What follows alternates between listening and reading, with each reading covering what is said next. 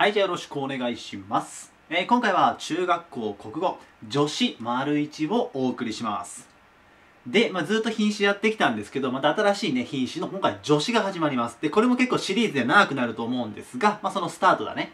で、今回はポイントがちょっとちょこちょこあるんですけど、それも含めて全部で7問問題があります。なので、できそうな子はね、ぜひ動画を止めてやってみてください。で、ちょっと確認してもらって、わかんないのがあれば、今からね、全部あの書いてやっていきますんで、見てもらえたらと思います。いいかな？では、早速ね、1番のポイントの方から穴埋めやっていきますんで、どうぞよろしくお願いします。よし、じゃあ行きましょう。じゃあ、いつも通りね、まず新しい品種のスタートなんで、助詞が何なのか、ね、何語で活用があるのかないのか、そこから確認していきます。で、残りの品種は2個です。で、まず1個目、助詞なんですが、これ何語？ずっと自立語だったんだよね。で、ずっと自立語だったんですが、ここで変わります。助詞は、付属語。ちょっと聞いててごめんね。付属語です。で、活用がありません。つまり、ない。助詞はね。だから、付属語で活用がないと。では次、3番、4番ね、その中で助詞を見つけに行きます。で、助詞、慣れてくればね、結構パッパ見つけられるんですが、まず、分節で切ってみるといいです。で、例えば3番、分節で切ると、友達のね、家からね、帰るね、と切ります。で、その上で単語に切ります、今度。で、友達とのだから、切れるね。で、家とからで切れる。で、こうやって切ることができるでしょで、その友達とか家とか帰るっていうのは今までもう出てきたの全部名詞とか動詞とか全部自立語なんです。で、その自立語、まあ体言だね、基本的には。友達のの友達って体言なんだよ。それの下にくっついてるのが今回やる助詞なんです。い体言の下にくっついてるのが助詞。だから、これの答えは、まずのです、ここ。友達のね。体言の下にくっついてるんで。で、もう一個。家も体言。それに下にくっついてるからが、今回助詞になります。つまり答えは、のとからです。で、同じようにやっていくと、4番。話し合いがね、9時にね、始まるねと。で、単語で切っていくと、話し合いとが、9時と2で始まる。で、体言を見つけようとすると、話し合いっていう体言。それに下にくっついてるが。これが助詞です。ここね。で、もう一個。9時っていう体言に下くっついてる。2ね。これが助詞になります。慣れてくるとね、まあ、なんとなく分かってくるんだけど、まあ、これが助詞になります。今回の。で、助詞、これからね、何本か動画使ってやっていくんですが、4つに分けれます。まず覚えてね、4つです、助詞は。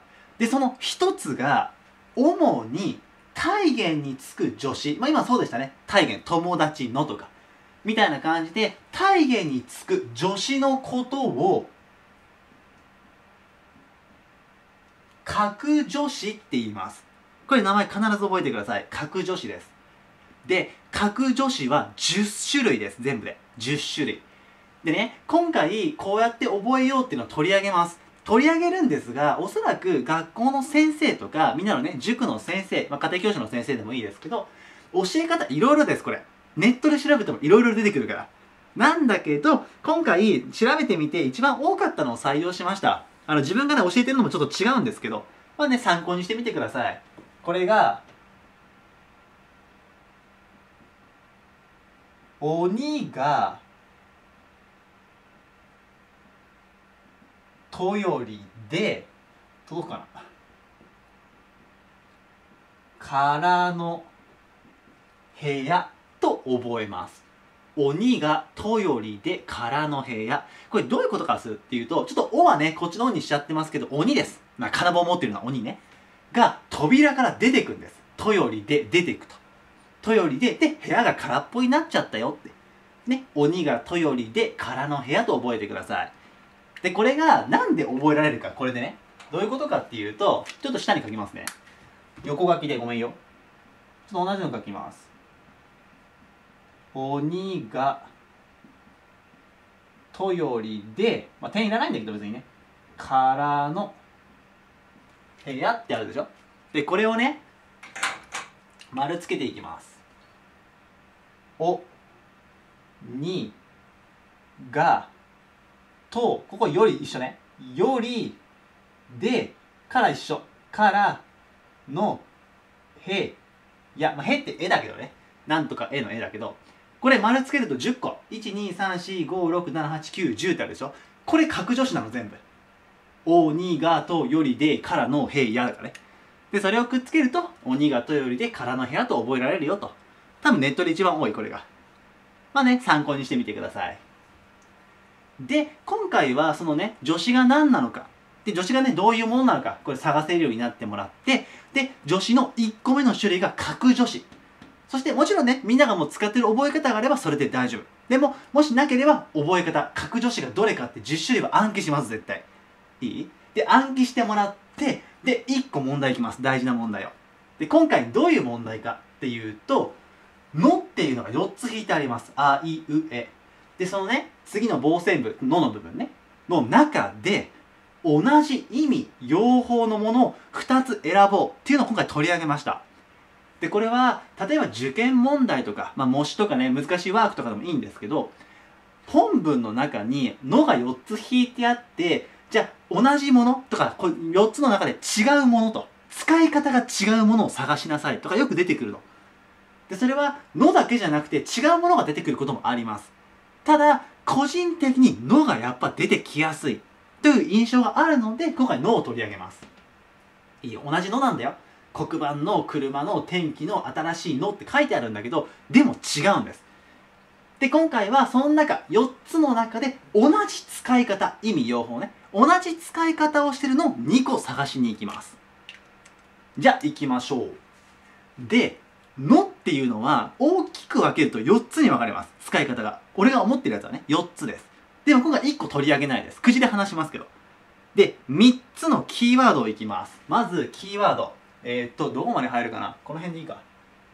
キーワード1、体現です。キーワード2、がです。で、キーワード3、ことものです。こともの入ってるかな下？あ、全然大丈夫だったね。この3つがキーワードになります。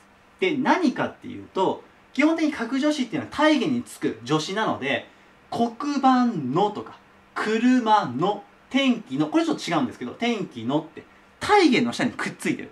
でもこの体現じゃないですこのキーワードは。じゃあこれ何かっていうとその「の」の下です。黒板の何なのか車の何なのか天気の何なのかってそこを見てください。でその黒板の何なのかっていう下が体現かどうかで探します。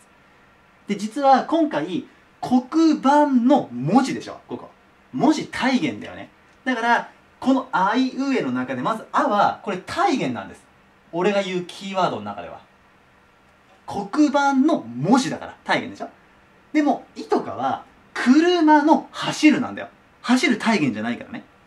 で「う」も天気の「いい」なんだよね。体言じゃないと。だからもう体言キーワードに当てはまるのは「あ」だけなんです。いい？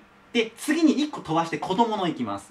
これは「の」の部分を「こと」と「もの」どっちかに言い換えて意味が通ったら「こともの」に入ります。例えば黒板これまあ分かってんだけど一応やるね。黒板こと文字黒板もの文字意味わかんないね。車こと走る車物走る意味わかんない。天気こといい日ん？天気物いい日ダメだよね。でここ。新しいことが欲しい。ちょっと変なね。でも新しいものが欲しい。だったら意味が通るでしょ？いい？これことものに変わることによってこう体現の代わりをするっていうやり方なんだけどもうことものだけでいいです。キーワードとして。つまりこの「の」はことものグループに入ります。この「の」はね。で最後は「が」です。これはすごいシンプルでのの部分をがに言い換えて意味が通ればがグループに入ります。例えば黒板が文字が見えない。これダメでしょ。車が走る音が聞こえる。これ意味通るよね。だからこれがグループになる。で次。天気がいい日に出かける。これも意味通るね。だからがグループ。で最後一応やるよ。新しいがが欲しい。もうダメだね。ががって。だからこう分けれます。なので同じ意味用法。つまり使い方をしてるのは答え「い」と「う」と。こういうふうに答えてください。いいかな？これ「が」に変わるやつはね主語になるんです。主語の役目を果たすっていうなるんだけど、まあ、こういう感じで大きく分けて3つ。で最初に4つって言ったのはもう1個修助詞っていうのがあるんです。で修助詞っていうのはこの格助詞とかの仲間で、まあ、あと後で出てくる。で修助詞の修って終わりの終わりね。終わりの助詞って書きます。つまり文の最後に出てきているのが修助詞なんです基本的に。だからそれ見てわかる。文の最後に来るから。でもないでしょ。全部途中にのが入ってるからね。だから今回あえて取り上げてません。なのでひとまずねこの段階ではこの3つのがね出てきたら体言下だよ下が体言かがに言い換えられるかことものに言い換えられるかと。この辺でねぜひ判断してみてください。では今回は中学校国語女子丸1をお送りしました、えー、今回もねここまで見ていただいて本当にありがとうございました。でまだまだ続きます。女子ね次まだ続きますのでもしよかったらそっちの方も見てみてください。ほんじゃ今回はこれで終わります。以上です。ありがとうございました。